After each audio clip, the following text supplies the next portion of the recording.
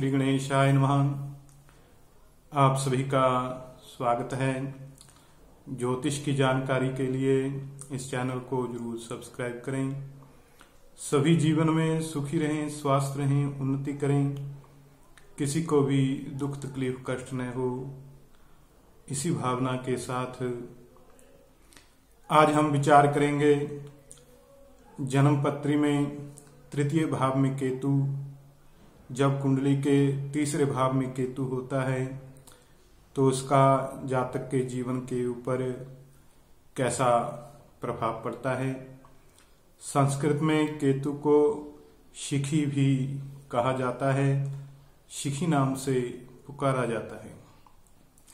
जब शिखी केतु कुंडली में तृतीय भाव में हो तो जातक के जीवन के ऊपर कैसा प्रभाव रहता है? इस विषय के ऊपर विस्तार से चर्चा करेंगे। तो सबसे पहले ध्यान दें, कोई भी उपाय अपनी तरफ़ से न करें। किसी योग्य ज्योतिषी से सलाह लेकर ही उपाय करें, अथवा आप मुझसे भी संपर्क कर सकते हैं। और कभी कभी ग्रह जो है, एक भाव आगे का फल भी दे सकता है जब पिछले भाव का फल भी दे सकता है। तो इसलिए अगर तृतीय भाव के केतु का फल आपसे मैच ना हो तो चौथे भाव के केतु का फल देखें या दूसरे भाव के केतु का फल देखें। आइए विचार करते हैं केतु का प्रभाव। तृतीय भाव में, तीसरे भाव में केतु जो है शत्रु नाश करता है। ऐसा जातक अपने प्रताप से, अपने प्रभाव से शत्रु का नाश कर देता है। शत्रु उसके सामने ठहर नहीं पाता। किंतु जीवन में व्यर्थ का विवाद भी लगा रहता है। विवर्थ का वाद विवाद होता रहता है। कुछ न कुछ कलह भी जीवन में होता रहता है। केतु के शुभ होने पर जातक जो है, विषय भोग प्राप्त करता है, ऐश्वर्य प्राप्त करता है और तेज की प्राप्ति जातक को होती है। मित्रों से कष्ट की संभावना रहती है, मित्रों से धन हानि जातक को हो सकती है। मित्र संबंधी सुख जो है, जातक के जीवन में कम होता है। ऐसे जातक को भुजाओं के संबंधी कोई रोग हो सकता है, भुजाओं में पीड़ा हो सकती है। भुजाओं से संबंधित जातक को कोई ना कोई दिक्कत जीवन में हो सकती है। मन में भ्रम रह सकता है, किसी भ्रम के कारण जातक अपना नुकसान कर सकता है। किसी बहम के कारण, किसी भ्रम के कारण जातक को परेशानी हो सकती है। और भ्रम के कारण चिंता होने से जातक का मन जो है, वो व्याकुल भी हो सकता है, जब मन में व्याकुलता रहती है। ऐसे जातक को चाहिए कि वो जब तक यथार्थ बात का ज्ञान न प्राप्त कर ले, तब तक कोई डिसीज़न नहीं लेना चाहिए। कभी कभी जीवन में जो कुछ दिखाई देता है, वो सच नहीं होता। इस कारण व्यर्थ की कल्पनाएँ जातक को नहीं करनी चाहिए। जब तक यथार्थ का ज्ञान न हो जाए, तब तक उस विषय के ऊपर चिंता नहीं करनी चाहिए। ऐसा जातक कुछ उदासीन भी जीवन में हो सकता है और भाइयों से मनमुटाव रह सकता है, भाइयों से दूरी रहेगी, भाई से जातक जो है बहुत दूर रहेगा और मनमुटाव भी जातक का अपने भाइयों के साथ हो सकता है और भाई के सुख में कमी भी जातक को होगी। मित्रों से हानि की संभावना जातक को रहती है। जब तृतीय भाव में केतु होता है तो ऐसे समय में राहु नवम भाव में होता है।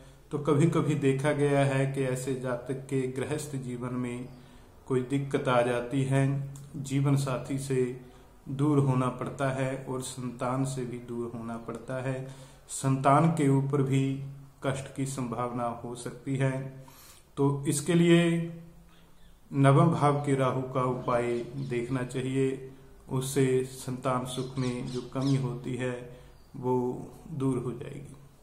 हस्तरेखा का आप यदि विचार करें तो केतु का जो निशान होता है, वो त्रिशूल का निशान होता है। अब केतु के त्रिशूल का निशान जो है, मंगल नेक पर्वत के ऊपर हस्तरेखा में होगा।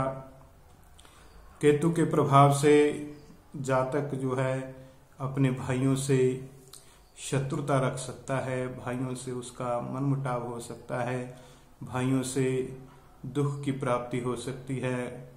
अलग रह सकता है अपने भाई से, जा बहुत दूर प्रदेश में अपने भाई से दूर रहता होगा। भाव जो है कि ऐसे जातक का अपने भाई के साथ रहना बहुत कम होता है, उनमें दूरी हो सकती है। और यदि इकट्ठे रहते हैं तो आपस में किसी प्रकार का कलह भी हो सकता है।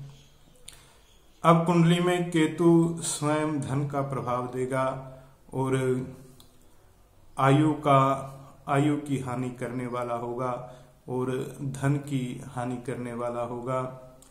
जातक, ऐसा जातक जो है दूसरों की सहायता करने वाला दयालु पुरुष होगा, महात्मा होगा, वह दूसरों की सहायता करने से कभी इनकार नहीं करता। यदि कुंडली के बारहवें भाव में मंगल हो तो ऐसी स्थिति में 24 वर्ष की आयु से जा पहले पुत्र के जन्म से, पहली संतान के जन्म से, जातक की उन्नति जो है वो शुरू हो जाएगी। जीवन में जातक बहुत उन्नति करेगा। विशेष रूप से जब कोई सफ़ेद बालों वाला वृद्ध जो है, जातक की सहायता करे। और भाव ये है कि यदि ऐसे जातक की कोई सफ़ेद बालों वाला सहायता करे तो जातक प्रगति करता है।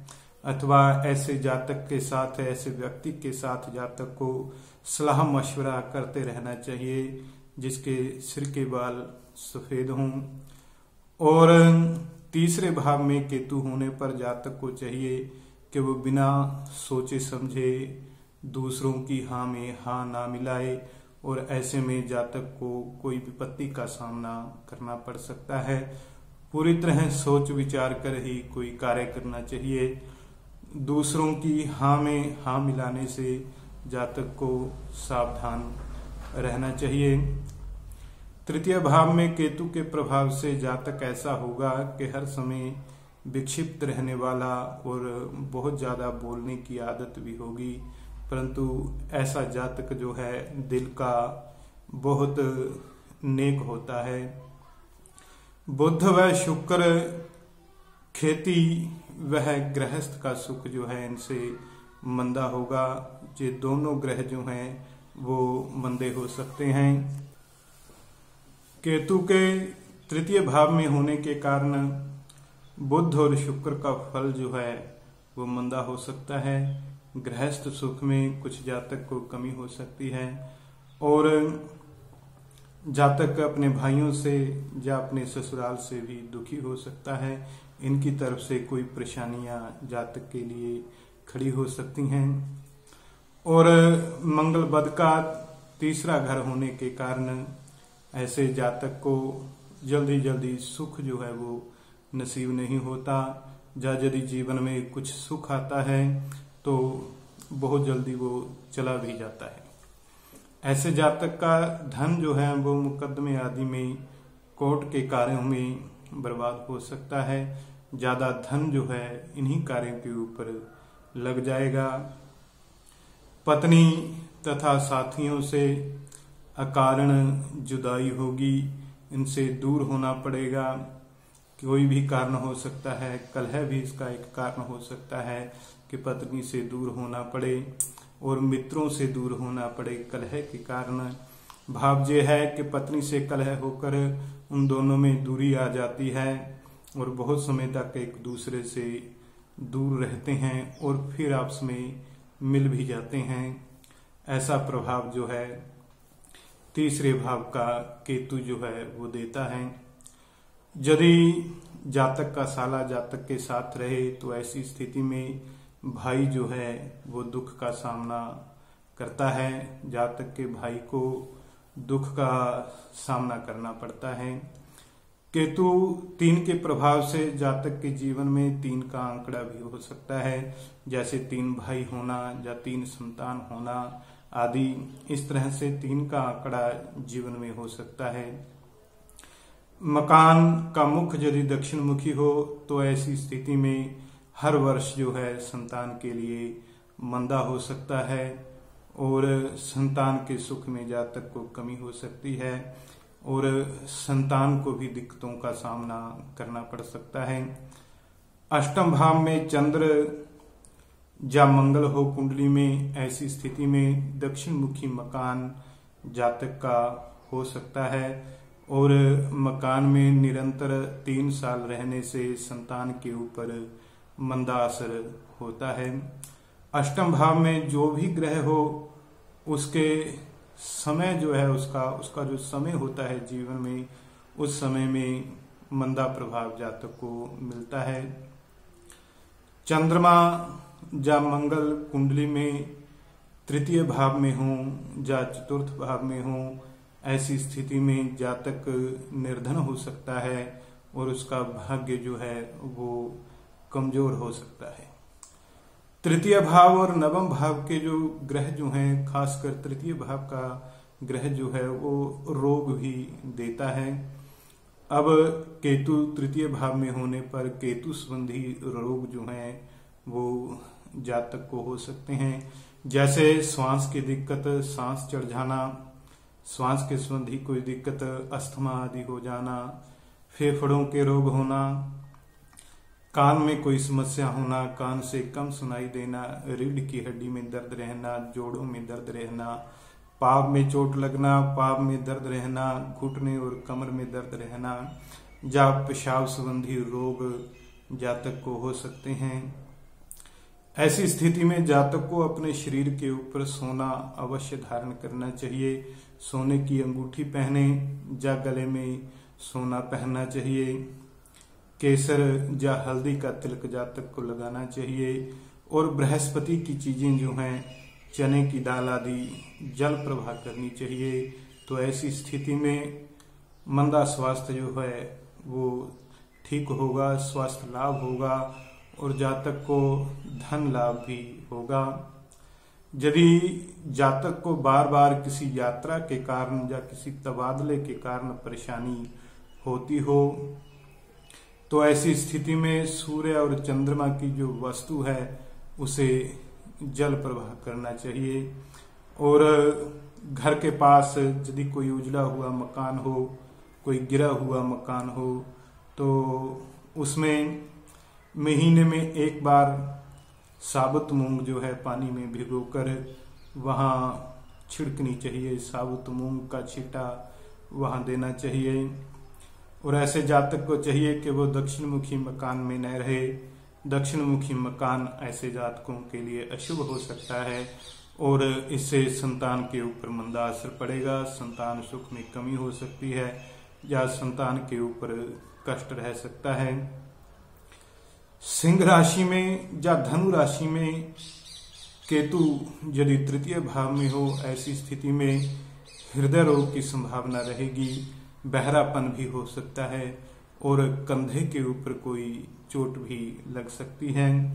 यदि मीन राशि में तृतीय भाव में केतु हो तो ऐसी स्थिति में जातक जो है, वो अध्यात्म एक ज्ञान जो है, वो प्राप्त करता है और अध्यात्म की शक्तियाँ जो हैं, वो जातक में होती हैं। अध्यात्म का ज्ञान जातक में बहुत होता है। ऐसा जातक कोई साधु संत या फकीर भी हो सकता है। और तृतीय भाव में केतु यदि मंदा फल दे रहा हो, केतु की महादशा चल रही हो, केतु का प्रत्यंतर चल रहा हो तो ऐसी स्थिति में समस्याओं को दूर करने के लिए केतु के जो देवता हैं, श्री गणपति भगवान, उनकी आराधना करनी चाहिए, उनकी पूजा करनी चाहिए, ओम गंग गणपते नमा, इस मंत्र का जाप करना चाहिए। और यदि संतान के ऊपर कोई कष्ट आता हो तो कुत्ता पालना चाहिए, कुत्ते की सेवा करनी चाहिए, कुत्ते को रोटी देनी चाहिए। इससे भी केतु का मंदा असर जो है वो दूर हो जाता है। और केतु को शुभ करने के लिए केतु के बीज मंत्र का जप करवाकर हवन आदि जो है वो जातक को करना चाहिए। इससे भी केतु का मंदा फल जो है वो दूर हो जाता है।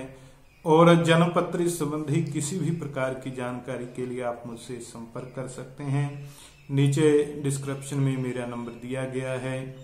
जय श्री कृष्णा, जय श्री राम।